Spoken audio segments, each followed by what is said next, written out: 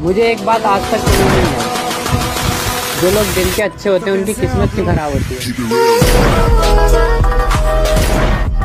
कर की बात मत करो। जिस दिन हमारा तुमसे सामना होगा, उस दिन तुम्हारी हस्ती मिटा देंगे।